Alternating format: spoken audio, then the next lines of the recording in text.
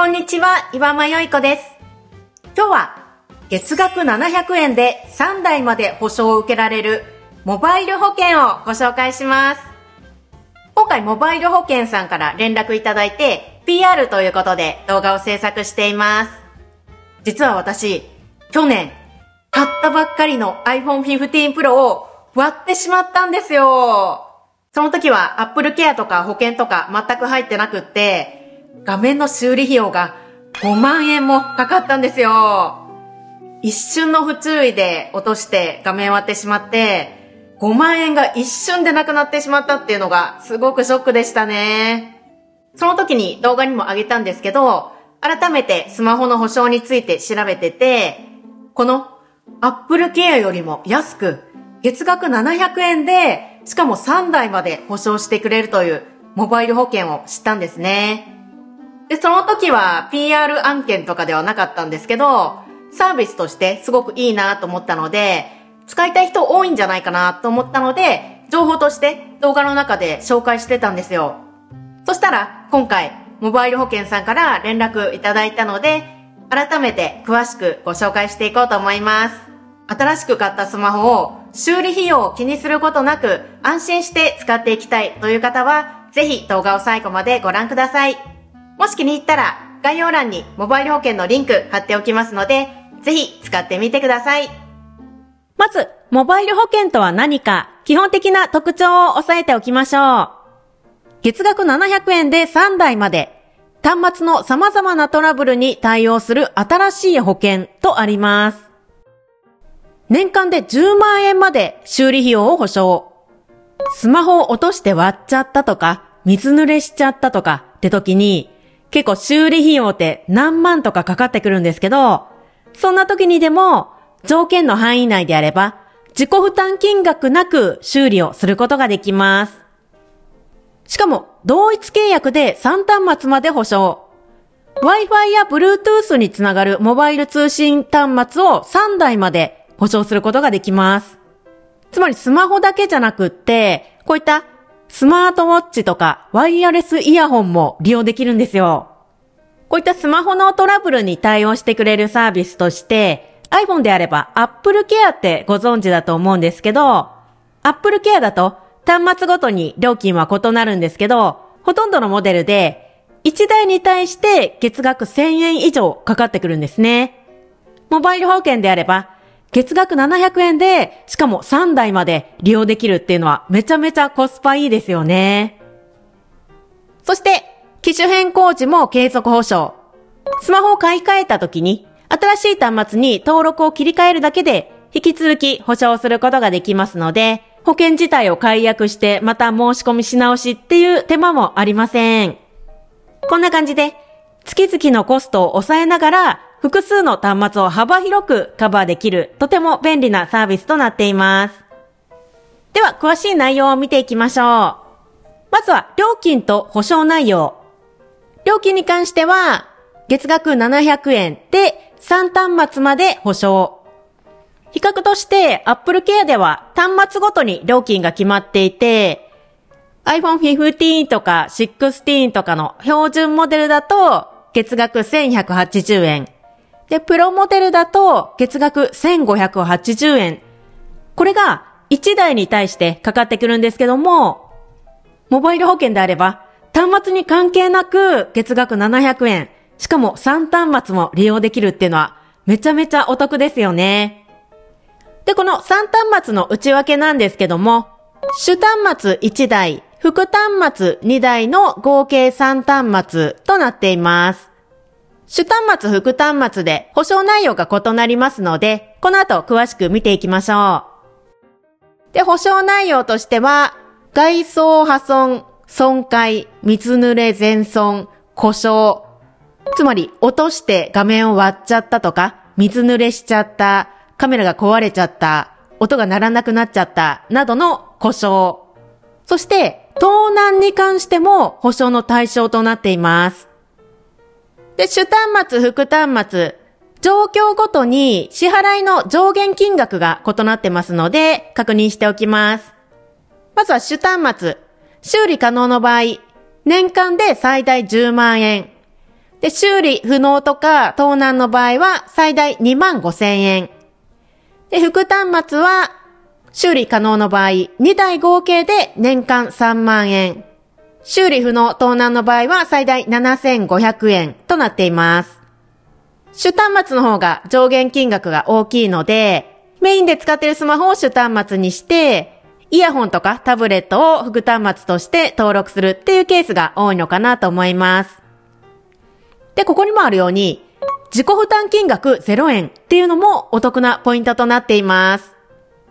比較として Apple Care の場合なんですけども、もし故障してしまった時に、Apple Care 入ってたとしても、無料で修理してくれるわけではないんですよ。こちら Apple Care のサイトなんですけど、画面割れとか背面ガラスの修理。本来であれば何万円とかってかかるんですけど、Apple Care 入ってれば3700円でできますよとか。その他の損傷に関しても12900円と、高額な修理費用の負担を抑えられますよっていうものではあるんですけど、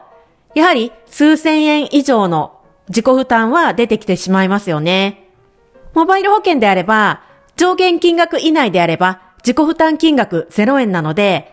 実際に修理するってなった時も、アップルケアよりもお得になるケースも多いのかなと思います。続いて、保証対象端末を詳しく見ていきます。冒頭にも紹介した通り、モバイル端末全般を保証してくれます。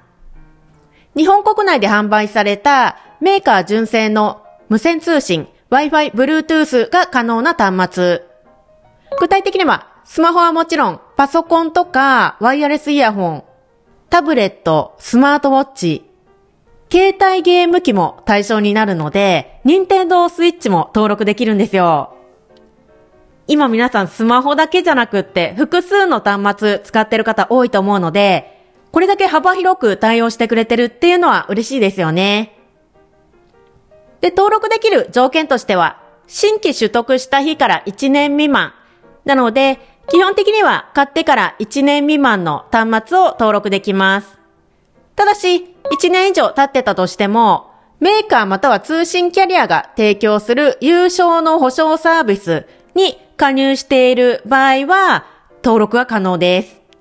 つまり Apple Care とかキャリアの保証サービスからの乗り換えなら、購入後1年以上経ってたとしても可能ということなんですね。現在そういったサービス使っていて、もう少し料金抑えたいなっていう方にも、こちらのモバイル保険おすすめとなっています。で、逆に登録できないものとしては、家族、知人、オークション等からの購入、または譲渡された端末。このよくある質問のところに書いてあるんですけど、オークションやフリマアプリで買ったものも登録できますか？こういったメルカリとか友達からもらったものっていうのは登録できません。で、一方、中古で買った端末も登録できますか？っていうのがあって、でこれに関しては、販売店により購入から3ヶ月以上の動作保証が付帯された端末であれば登録することができます。あの、イオシスとかで中古だったとしても3ヶ月の保証がついてたりするので、そういった端末に関しては登録することができます。そして、こちらぜひ押さえといてほしいんですけど、家族が使っている端末も登録できるんですよ。前提としてモバイル保険では、その保険の非保険者が使っている端末や購入、契約した端末が登録できるので、この条件に合うものであれば、パートナーや子供の端末も登録できます。例えば自分が買って子供が使ってるとかっていう端末も登録できるので、子供にスマホを持たせているとか、子供がスイッチを使ってるっていう時に、やっぱり子供って雑に扱うから壊れないか心配じゃないですか。子供が使ってる端末も登録できるっていうのは安心ですよね。で、実際に故障してしまった時の流れなんですけども、修理場所については特に縛りはありません。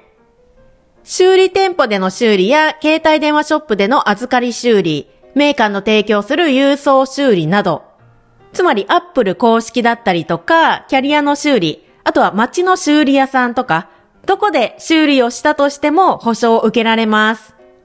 ただ、せっかく保険に入って自己負担0円にできるので、適切な修理が受けられる正規の修理がおすすめですと、モバイル保険の方はおっしゃってました。つまり iPhone だったら、Apple 公式とか、Apple が認定している正規サービスプロバイダーって言って、北村とかビッグカメラ、そういったところを利用するのがおすすめです。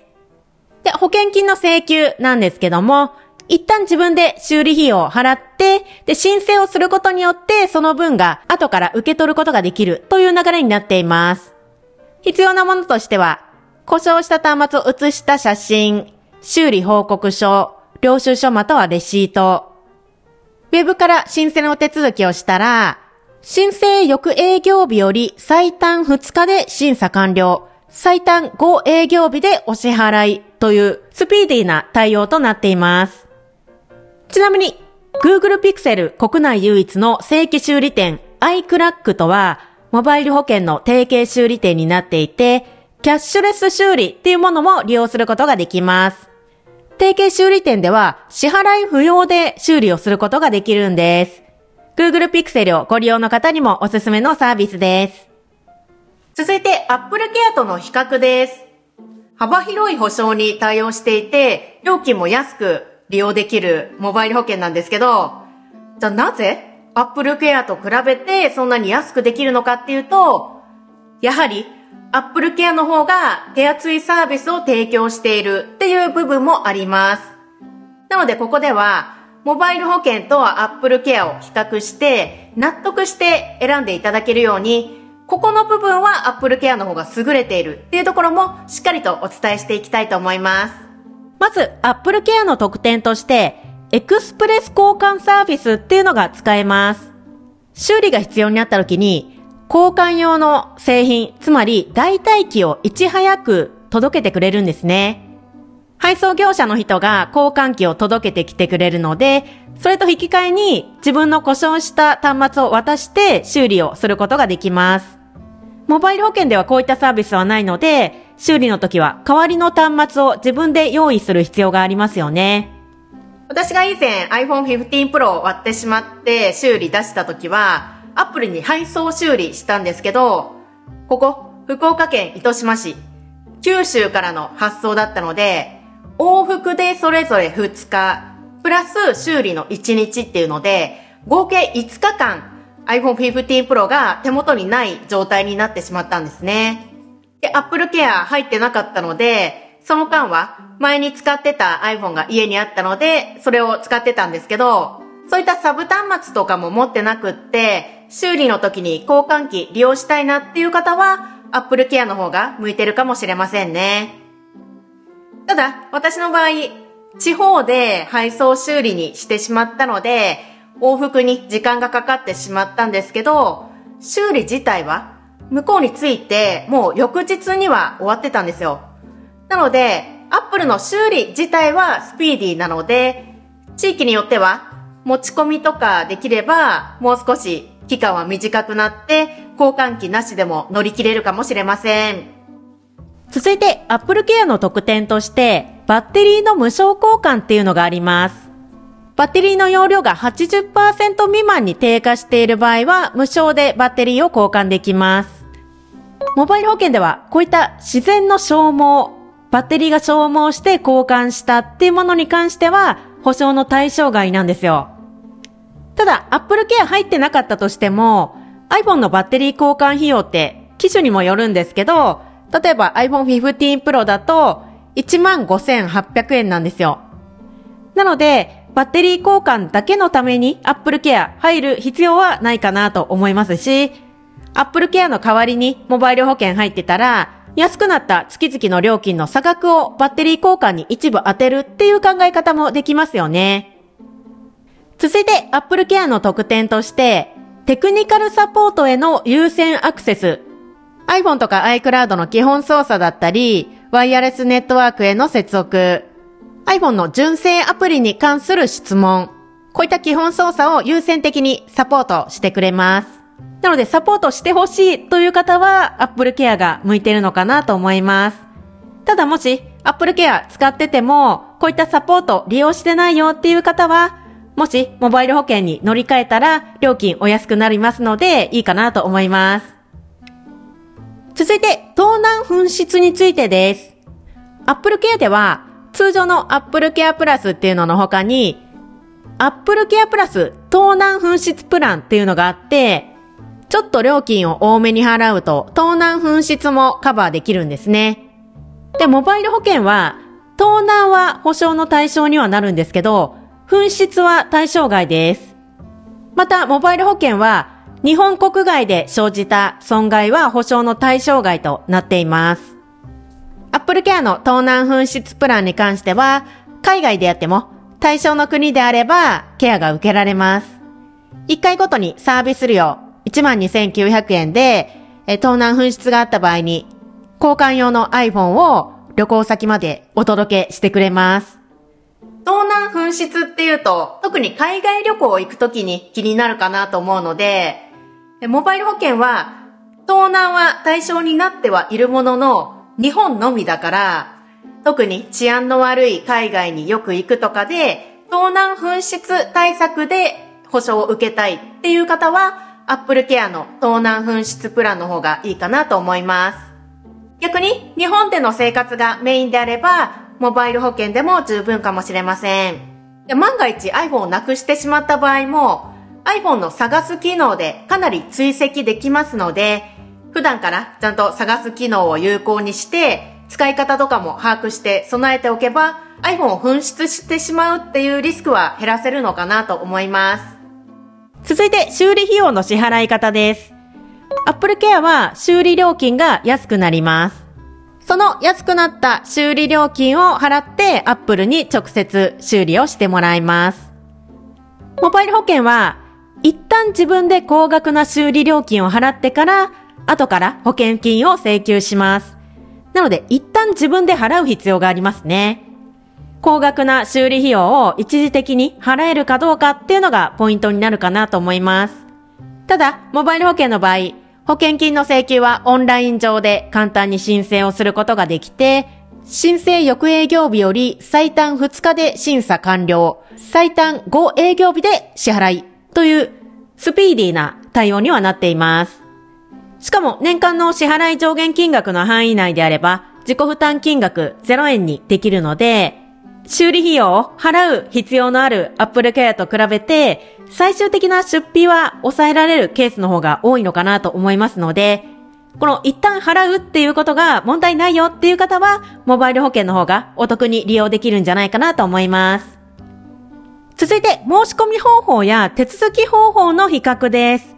Apple Care の場合、加入自体はすごく簡単にすることができて、iPhone 買うときに、色とか容量とかを選ぶ流れで、Apple Care もつけますっていうので、追加したりとか、あと買った後でも iPhone の設定アプリから加入したりできるじゃないですか。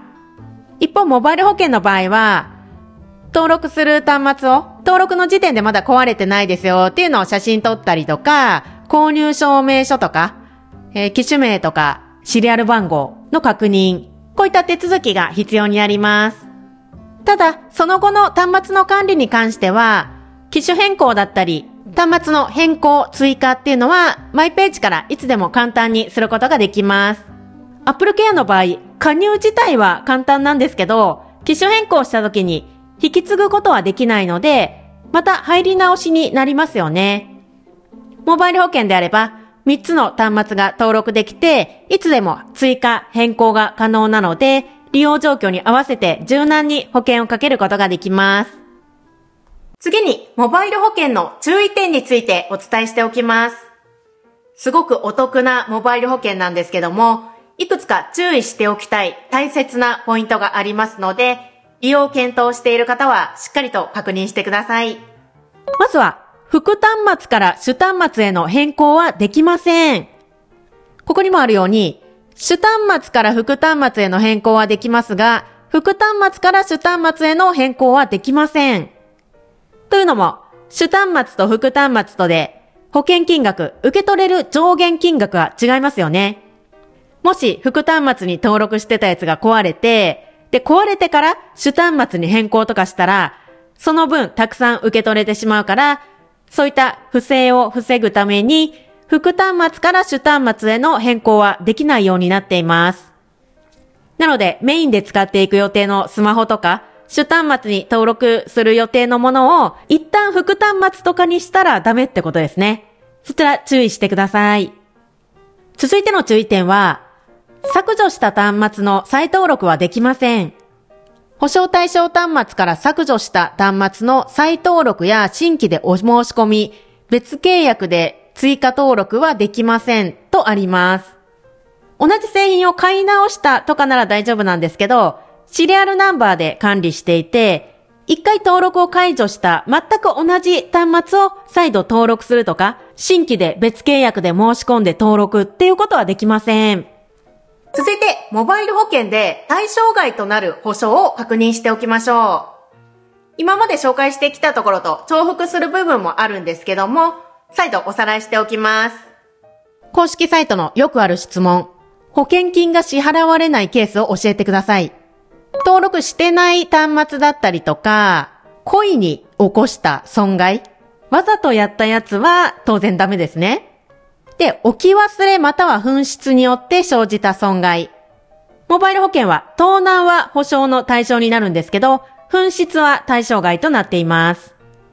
そして、日本国外で生じた損害も対象外なので、海外旅行の時のトラブル対策には使えませんね。あとは、自然の消耗もしくは劣化など。例えば、バッテリーが消耗して交換したとか、あとは使ってると細かい傷とかついてきたりとか、塗装が剥がれたりとかするじゃないですか。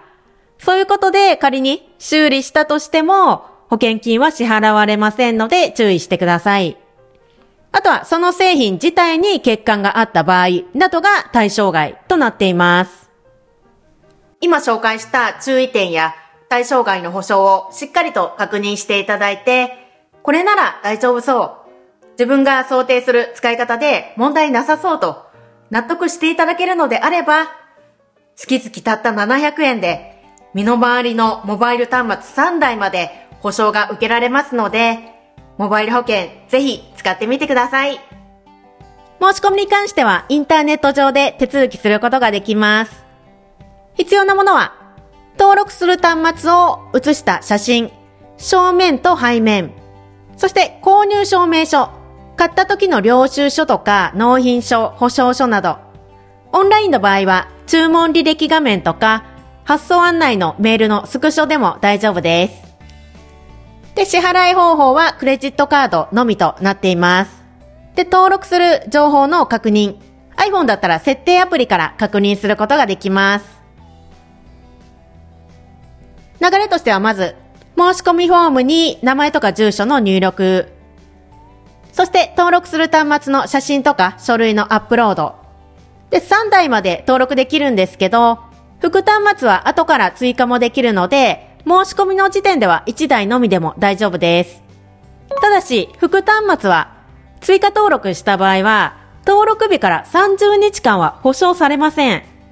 なので、もし副端末登録予定のものがあるのであれば、申し込み時に一気に登録しちゃった方が機械損失は少ないですね。で、クレジットカードの登録。申し込み完了日の翌営業日に審査があって、で、契約成立のメールが届くという流れになります。ということで今回は、モバイル保険について詳しくご紹介しました。月々700円で大切なスマホやタブレット、イヤホン、身の回りのモバイル端末を安心して使っていくことができますので、もし気になった方は概要欄のリンクからモバイル保険ぜひチェックしてみてくださいね。この動画が参考になりましたら、グッドボタン、チャンネル登録お願いします。それではありがとうございました。